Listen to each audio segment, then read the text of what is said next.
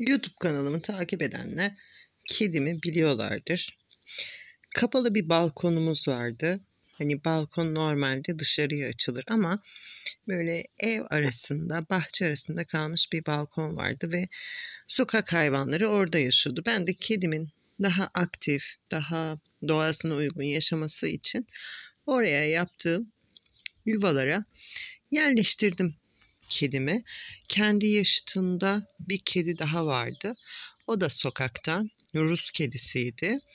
Onu da kısırlaştırdım.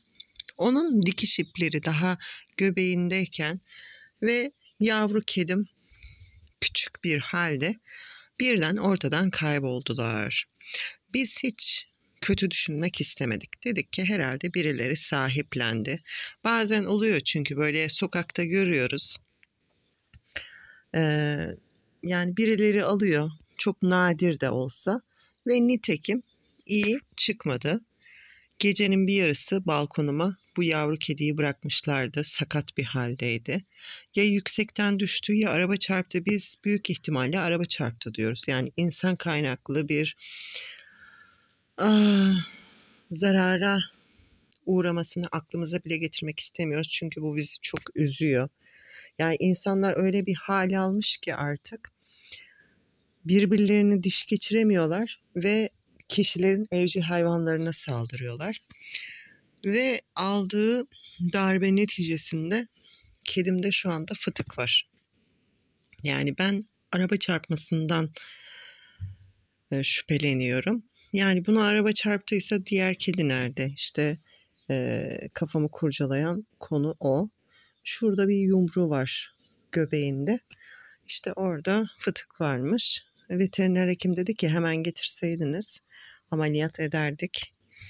Ama şu anda geçmiş dedi. Bir zarar da yok dedi. Eğer beslenebiliyorsa, tuvalete gidebiliyorsa, gezebiliyorsa bir zararı yok dedi. Ama e, vücudunun bütünlüğünü bozuyor. Mesela o bölgedeki tüyler dökülmüş. İşte mesela tüylerini temizlerken o bölgede fazlaca vakit geçiriyor. Böyle yumurta gibi çıkmış yani adeta. Sanırım karın zarı yırtılıyor ve oradan bağırsağın bir bölümü dışarıya çıkıyor. Sokaklar güvenli değil yani hayvanlar sokaklarda yaşasın diyoruz ama bu bir çare değil. Ne olmalı? Güvenli alanlar olmalı. Güvenli köyler inşa edilmeli. Köylüler burada evcil dostlarımıza hizmet vermeli ve üretime katkıda bulunmalılar. Bu da büyük bir seferberlikle olur. Mesela işletmelerdeki israfın azalmasıyla, ülke çapında gönüllülerin çoğalmasıyla çözülemeyecek problem yok. Sadece anlamsız savaşların, kavgaların ve anlamsız bir varoluşun sınır hattını çekmemiz gerekiyor ki başka canlar mutlu olsun.